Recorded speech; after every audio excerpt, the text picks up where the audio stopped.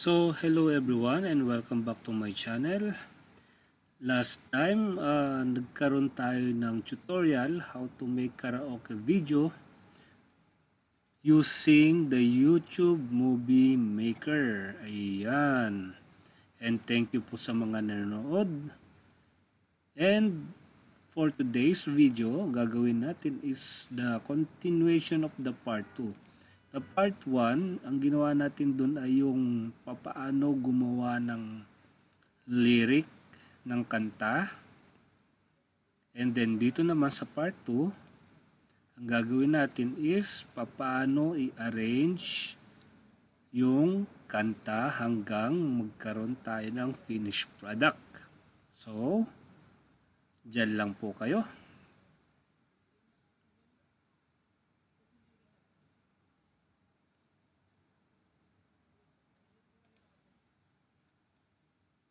So right now, nandito tayo sa ating YouTube Movie Maker. So, ang una natin gagawin, i-add natin yung lyric na ating ginawa.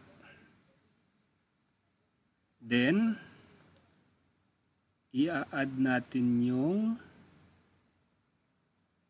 song. Ayan. Tapos try natin i-play.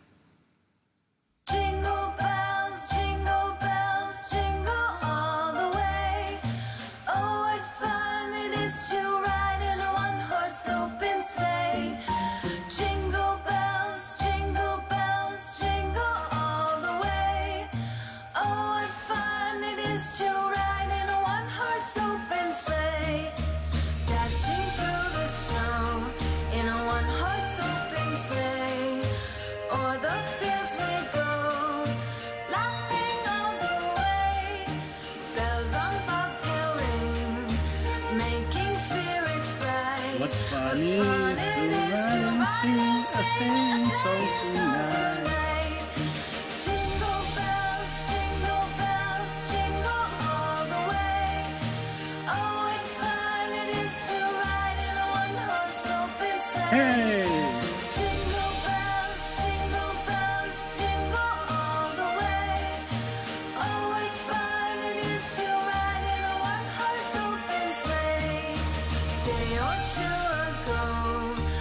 At ayun na nga. Natapos siya. So, ang gagawin natin, ikakat natin yung song hanggang dun lamang sa may lyric. Pwede nating i-adjust. Idadrag lang natin. Yan, hanapin ko lang kung, kung saang part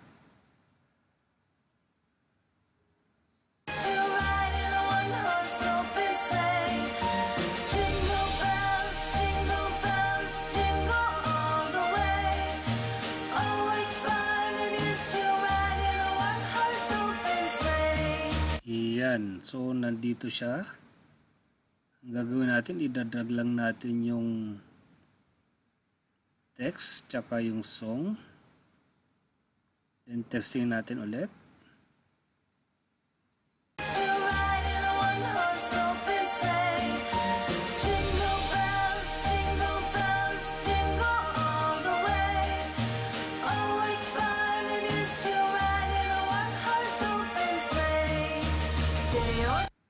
Andun.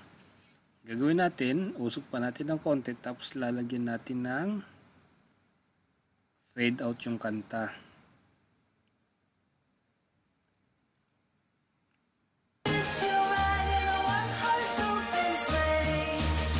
Yan. So, lagyan natin ng fade out. Lagyan natin ng enable and then fade out around 2 seconds.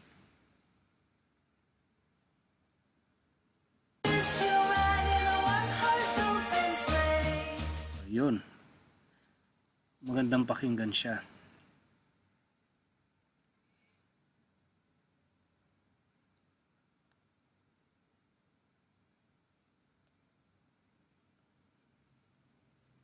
So next is subukan natin lalagyan natin ng title dun sa unahan. Yun ang gagawin natin.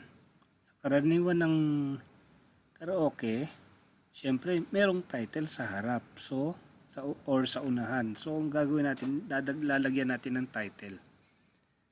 Gamitin natin yung gamitin natin yung ah, text format.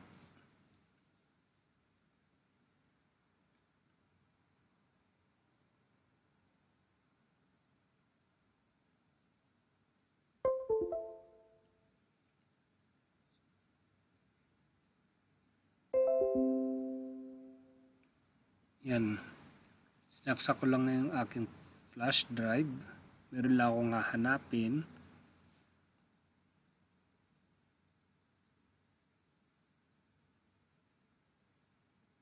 So ito yung mga karaoke songs na ginawa ko dati. Ano. Naka-backup yung mga yan.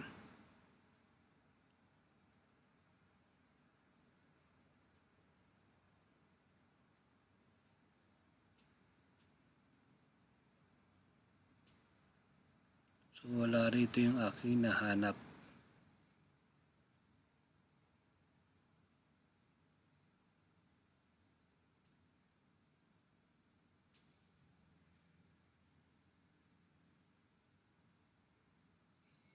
Anyway,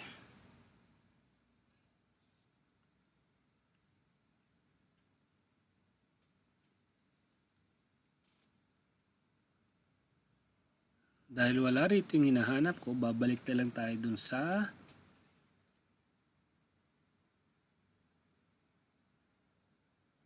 balik na lang tayo sa YouTube Movie Maker.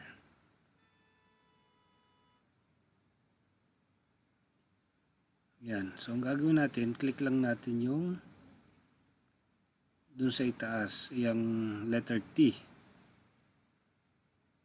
Yan.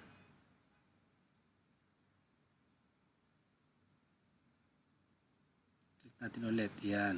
So, ito yung ating magiging intro. So, ang gagawin natin, iuusog natin yung kanta around 10 seconds siguro or 5 seconds. Ayan. Gawa natin ng 5 seconds para para magkaroon tayo ng title ng kanta.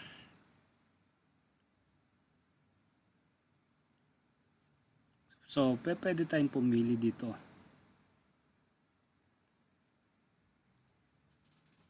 Hanap tayo ng maganda.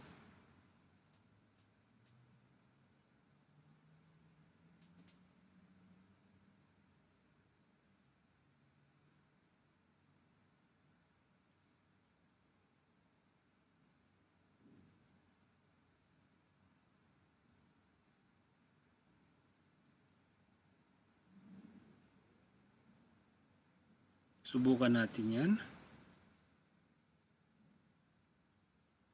Mukhang maganda. Pwede. Try natin. Yan. Lagyan natin title. Title. Jingle Bells. Yan. Okay. Save natin. Then, exit. Tapos, right click natin. Hindi natin siya madadrag. So, right click, then add to text. Line 0 or text line 1. Yan. So, hindi siya, hindi siya na-drag gagawin natin, buburahin natin siya ulit. Hindi siya pwedeng, hindi siya mailagay ng left, hindi siya maibove ng left. So, ang gagawin natin, add muna natin siya sa text line, then yung isa, i-delete natin. Yan. Usog natin para mag-align silang lahat. Yan. Yan.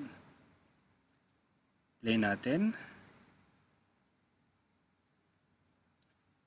Dahil yung title is nasa gilid, topmost, ang gagawin natin, click lang natin at ilagay natin sa center. Let's play.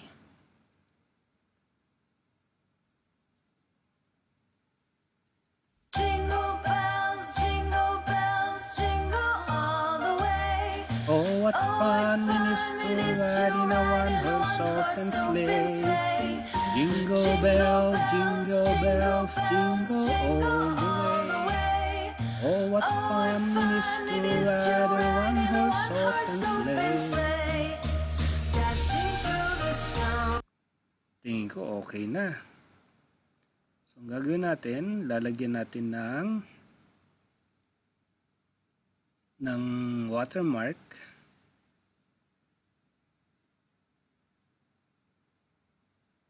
Para hindi makopya, ano, lalagyan natin ito. Pwede na to. Add to text line. Then, lagyan natin yung pangalan natin. Siyempre.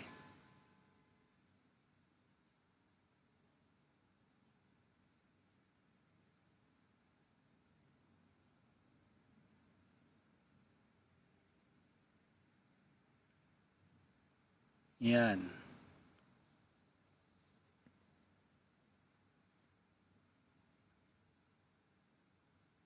So, medyo malaki siya. Gagawin natin is arrange natin siya kung saan magandang ilagay.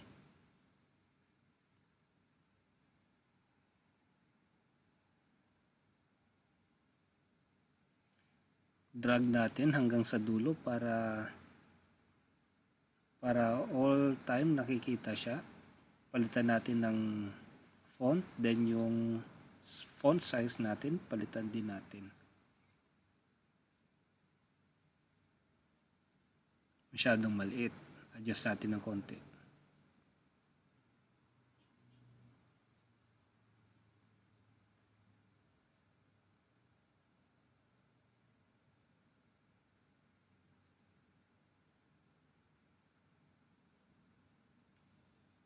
Hindi siya nagagalaw. So, ang gagawin natin dito para mag umalaw siya, ayusin muna natin yung kanyang font.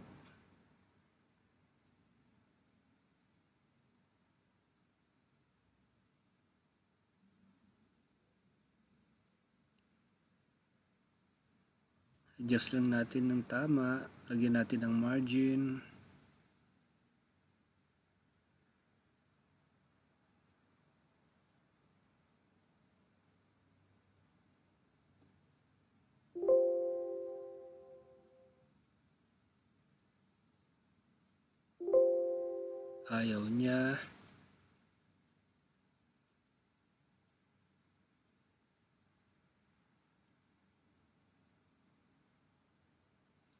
So ito yung YouTube Movie Maker na bago nilang version ano, medyo nahihirapan tayong gaw- ga- gawin. Pero yun, nagalaw na natin. So ang gagawin natin ngayon, adjust natin yung watermark. Baguhin natin yung font size.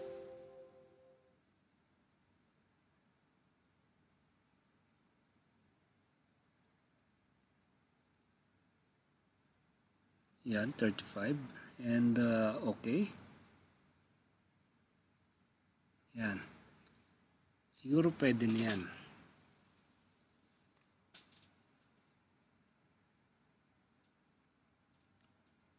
Subukan pa natin ng isang beses. Kapag hindi, final na natin. Total sample lang naman.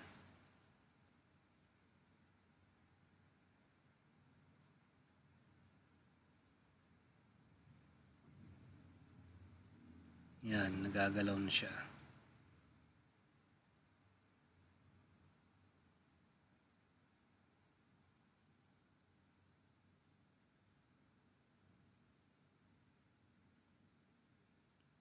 So, play natin.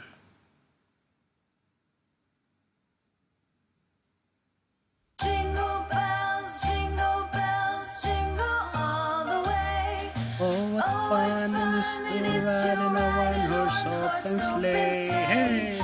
Jingle bells, jingle bells, jingle all the all right. Oh, what fun it is to ride in a one-horse open oh, sleigh. Oh, yeah. Stop and gawin natin, i-render na natin siya. So, pagre-render,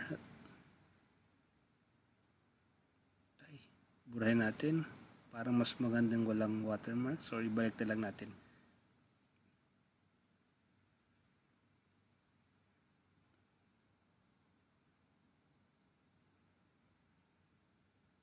Di kasi siya nagagalaw. Yung gusto ko sanang gawin, may usog siya papuntang right.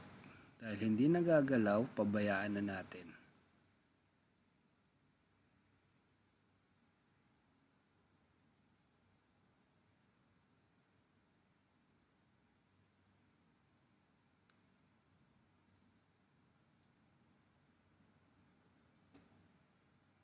Isa pa, ayaw talaga niya.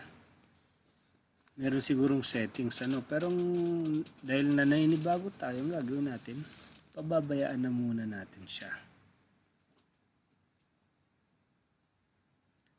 Render.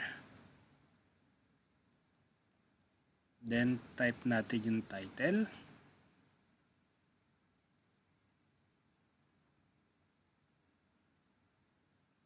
then masisave siya into mp4 yan So, kino-convert na niya. At dyan po nagtatapos yung ating tutorial sa paggawa ng karaoke. Marami pong salamat. Hanggang sa, sa muli po.